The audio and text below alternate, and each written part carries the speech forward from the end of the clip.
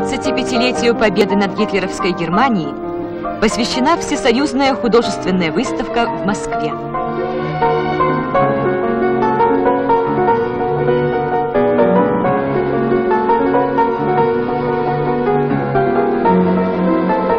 Произведения живописи, графики и скульптуры рассказывают о героизме советских людей, выстоявших и победивших в годы великих испытаний.